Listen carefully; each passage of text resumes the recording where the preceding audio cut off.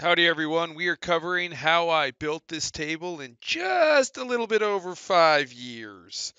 Um, it all started back in 2013 when my cousin and I were sitting around the campfire at my family's property just outside the little town of Covelo, California. And we were, of course, uh, enjoying ourselves and thinking, hey, we should someday cut down some tree and make something with the wood. This was a popular co- topic of conversation that we mulled over for, well, let's just say probably measured in decades. But we had a tree down up behind our cabin, so we walked up and mulled it over.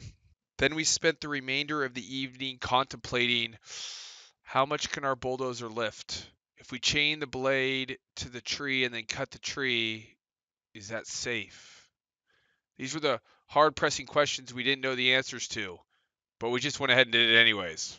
Maybe not our smartest move, but hey, a John Deere 450 bulldozer can lift up a 30 inch diameter tan oak, 10 feet long.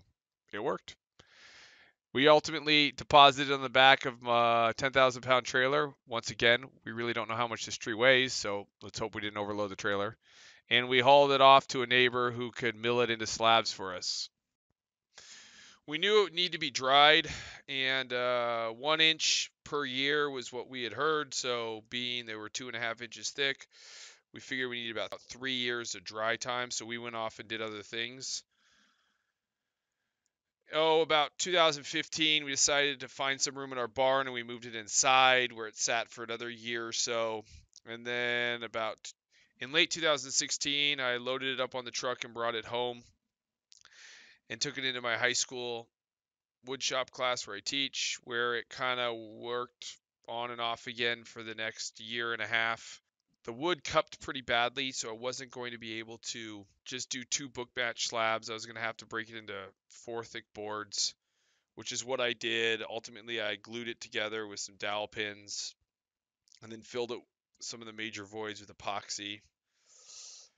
Once it was all glued up, I knew it needed to get flat. Fortunately, uh, the neighboring high school has a big CNC router, and he let me bring it over and helped me mill it into two perfectly flat sides. I knew I wanted some wine glass shaped legs that were going to be a glulam of steel on each side with a solid oak core. So I went ahead and drew this up in Fusion. And then the first step was to make sure that the legs were the right size, that they were going to work with the table. I had the tabletop at home, so I went ahead and used a laser and cut out kind of a mock up and set that up to make sure the legs were going to work. It was now the fall of 2018, and we were going to host Christmas dinner at our house this year. And I needed to get going, so I went ahead and ordered the steel. I had a local steel manufacturer laser out my design. And while for the legs to come, I went ahead and started sanding. The top needed a lot of sanding work. Um, I started with a belt sander, which while it worked out okay, put a lot of ripples in the top. So then I went back and used the old uh, auto body and fender classic of cross sanding with really coarse sandpaper. And then once I got that done, I went into palm sanding with 80 grit, then 100, 120. Um, I got really bored of sanding with one palm sander, and I have two, so I broke out the second one and did some dual action. I'm not sure that was really more efficient, but it felt a lot more efficient. Um, sanding took quite a bit of time. Um, moving up through the grits, sanding on the sides. And then finally, I put on some finish. The finish brings out all your mistakes. So then I went back and did some more sanding in some critical areas. Next, I started on the legs. First thing I did was glue up some slabs of oak into the rough shape the legs were going to be. Then I wanted to preserve the mill finish um, of the steel, so I put on some red construction tape. That's going to bite my ass later. And then I used two-part epoxy to glue uh, the steel to the legs. I then used the router to flush trim the wood to the match the steel, and then glued the other side on using the same process of two-part epoxy. And then I used uh, the belt sander to blend the both together, basically sanding the steel to match uh, the wood.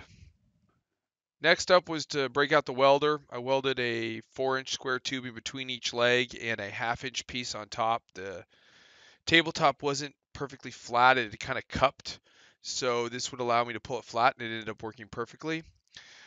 Before I could put it all together, I needed to get the red construction tape off. This is something I thought would take like oh, five minutes, no big deal. Yeah, four hours later, I was still at it. I had to get my kids to help me.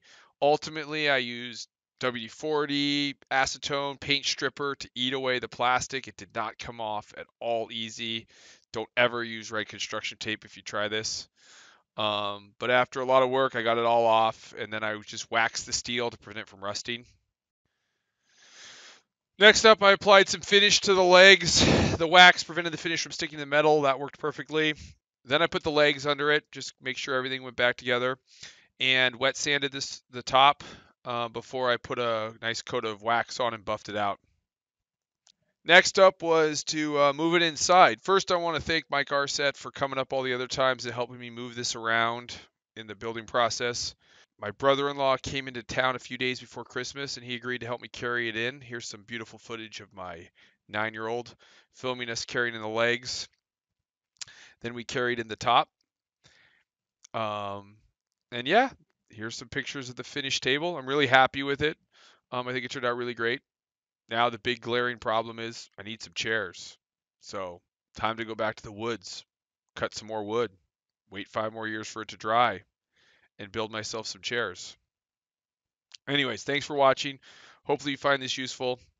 Go ahead and hit like and subscribe if you want to see more videos of me making just random stuff. Thanks.